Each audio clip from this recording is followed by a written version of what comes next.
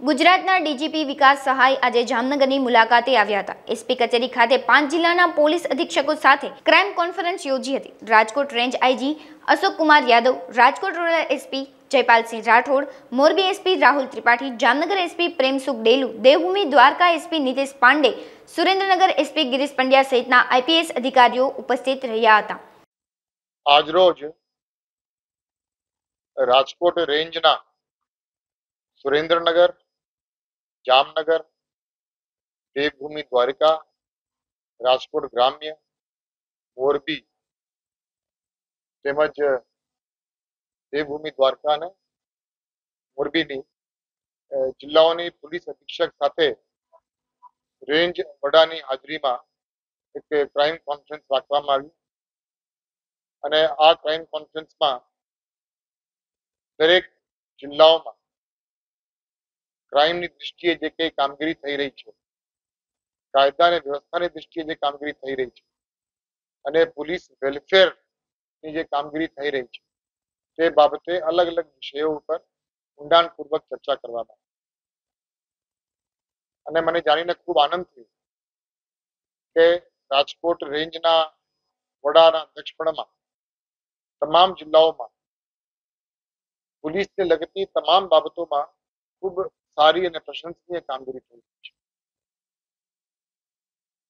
તેમ છતાં, અમુક જે મહત્વના મુદ્દાઓ છે, તે બાબતે આ ક્રાઇમ કોન્ફરન્સમાં પોલીસ અધિક્ષકશ્રીઓને ખાસ ધ્યાન મૂકવા માટેનું વિનંતી કરવામાં આવ્યું છે અને યોગ્ય માર્ગદર્શન મળે તે બાબતે પણ ચર્ચા કરવામાં આવી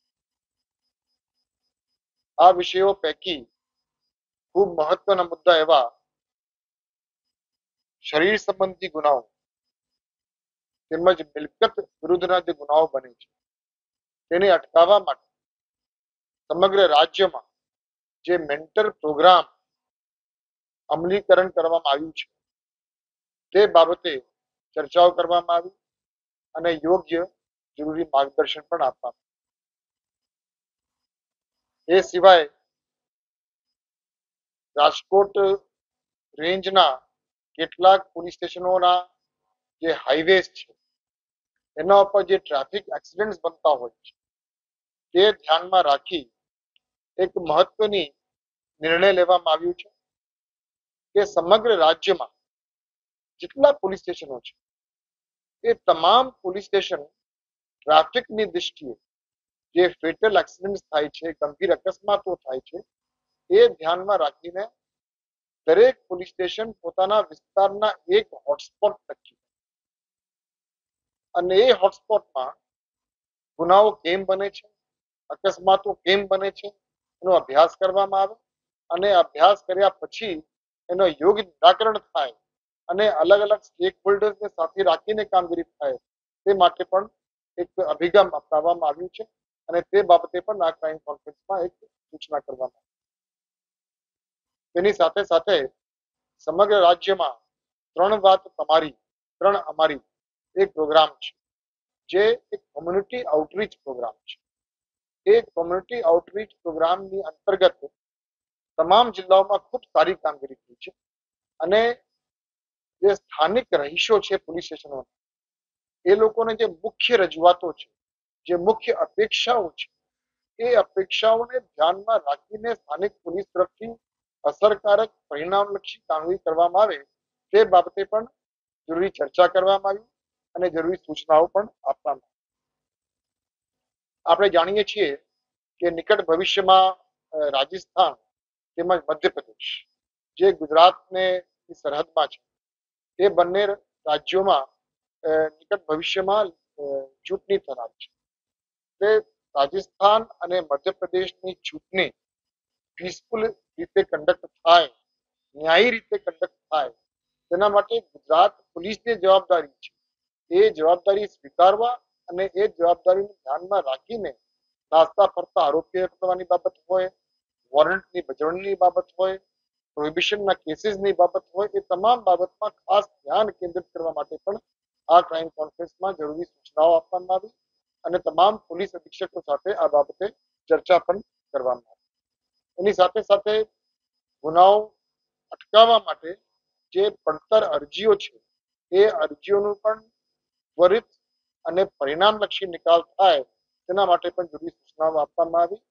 એકંદરે, આ ક્રાઇમ કોન્ફરન્સમાં પાંચે પાંચ જિલ્લાઓની કામગીરી ખૂબ સારી રહી છે અને આજે મને અહીંયા જણાવતા ખૂબ આનંદ થાય છે કે રેન્જ વડાની અધ્યક્ષપણમાં, રેન્જ વડાની માર્ગદર્શન હેઠળ પાંચે પાંચ પોલીસ અધિક્ષકની કામગીરી ખૂબ સારી અને ખૂબ સંતોષકારક છે ધન્યવાદ જ્યાં સુધી કોસ્ટલ સિક્યુરિટીનો સવાલ છે, આવતીકાલે હું પ્રવાસમાં દેવભૂમિ દ્વારકા જવાનો. અને ગુજરાત રાજ્યના મહત્વના જે નવથી દસ કોસ્ટલ પોલીસ સ્ટેશન છે, એ પોલીસ સ્ટેશન્સના જે ઇન્ચાર્જ પીઆઈ અથવા પીએસઆઈ છે, એમની સાથે મેં એક મિટિંગ આવતીકાલે મેં ગોઠવ્યું છે, દેવભૂમિ દ્વારકામાં અને ત્યાં રેન્જ વડા પણ હાજર રહેનાર છે પોલીસ અધિક્ષક પણ હાજર રહેનાર છે અને કોસ્ટલ સિક્યુરિટીની ખૂબ ઊંડાણથી આવતીકાલે ચર્ચા કરવામાં આવી. આપણે જાણીએ છીએ કે જ્યાં સુધી અ, દ્રવ્યનો જે પ્રશ્ન છે એ પ્રશ્ન ખૂબ ગંભીર છે. અને જામનગર પોલીસ તરફથી ખૂબ સારી કામગીરી કરવામાં આવી છે અને એની સાથે સાથે સમગ્ર રાજ્યમાં નાર્કોટિક્સની અને આ ત્યાંથી દ્રવ્યોની જે બાબત છે જે પ્રોબ્લેમ્સ છે એ ધ્યાનમાં રાખીને તમામ પોલીસ અધિક્ષકશ્રીઓને અને તમામ આપણે જે સ્પેશિયલાઇઝ યુનિટ્સ ખાસ કરીને ગુજરાત રાજ્યના એન્ટી ટેરરિસ્ટ સ્પોર્ટ્સ છે, દરેક જિલ્લાના એસઓજી છે સીઆઈડી ક્રાઇમ છે, એ તમામને આ કેફી દ્રવ્યો બાબતમાં ખૂબ ગંભીરતાથી વિચારવાનું, કેસો કરવાના અને જરૂરી માહિતી એકત્રિત કરીને પરિણામલક્ષી કામગીરી કરવા માટેની સૂચના અપાઈ છે. અને આપ બધા જાણો છો કે છેલ્લા કેટલાક સમયમાં ગુજરાત પોલીસ તરફથી આ કેફી દ્રવ્યો માટે ખૂબ પ્રશંસનીય અને સારી કામગીરી થઈ છે અને ખાસ કરીને કોસ્ટલ એરિયા છે, એ કોસ્ટલ એરિયામાં પણ જે નાર્કોટિક્સની બહારથી જે આવતા હોય, એના માટે પણ સ્થાનિક પોલીસ અને જે સ્પેશિયલાઇઝડ આપણી યુનિટ્સ છે, એના તરફથી ખૂબ સારી અને અસરકારક કામ, એ ખૂબ સારો એક પ્રશ્ન છે. અને મને આનંદ છે કે તમે આ પ્રશ્ન પૂછ્યો. સાયબર સાયબર ક્રાઇમ પણ એક જટિલ સમસ્યા છે. અને એ ફક્ત રાજકોટ રેન્જ માટે નહીં, ફક્ત ગુજરાત રાજ્ય માટે નહીં, પણ આપણા દેશ માટે અને ગ્લોબલી પણ સાયબર ક્રાઇમ એક ગંભીર વિષય તરીકે આપણને જોવા મળી રહ્યું છે.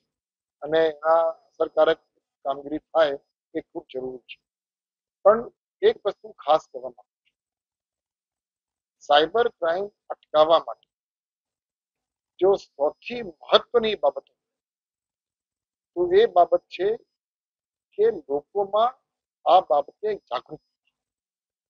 આપણે જાણીએ છીએ કે મોટા ભાગે જે લોકો વિક્ટિમ્સ બનતા હોય છે સાયબર ફ્રોડ, એના અલગ અલગ પ્રકારથી લોકો વિક્ટિમ્સ બનતા હોય છે. હવે આપણે જાણીએ દરેક કિસ્સા મોટા ભાગના દરેક કિસ્સામાં કોઈ નાગરિક કોઈ ભૂલ કરે, કોઈ ચૂક કરી જાય એના કારણે જ એ વિક્ટિમ બનતા હોય છે. એટલે વ્યક્તિ તરફથી, લોકો તરફથી કોઈ ભૂલ ન થાય, કોઈ ચૂક ન થઈ જાય, એ સાયબર ક્રાઇમ કઈ રીતે થાય છે એ બાબતે જાગૃતિ ની પ્રયાસ જે ગુજરાત પોલીસ તરફથી કરવામાં આવી રહી છે, તે મને ખાસ લોકોને પણ અપીલ છે કે તમે સાયબર ક્રાઇમના વિક્ટિમ ત્યારે જ બનશો કે તમે જ્યારે કોઈ ભૂલ કરશો. અનઆઇડેન્ટિફાઈડ વીડિયો કોલર હોય, તમે એમને રિસ્પોન્ડ કરો લિંક તમને શંકાસ્પદ લાગતું હોય, તો એવી રીતે લિંક મોકલી હોય, એ લિંક તમે ખોલી નાખો એટલે આ પ્રકારનું તમે જે ભૂલ કરો છો, એ ભૂલ ન કરીએ, તો આપણે સાયબર ક્રાઇમ પર ચોક્કસ વિજય મેળવી.